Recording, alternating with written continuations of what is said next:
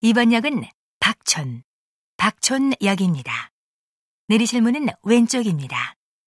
이 역은 열차와 승강장 사이가 넓으니 내리실 때 조심하시기 바랍니다. This stop is Pakchon. Pakchon. The exit doors are on your left. Please watch your step when you get off.